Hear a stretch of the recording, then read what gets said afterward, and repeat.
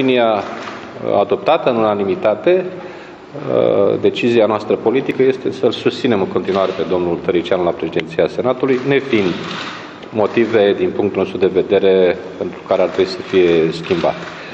Uh, acum merg la grup la Senat să le comunic și nostru și senatori care este punctul de vedere al PSD-ului.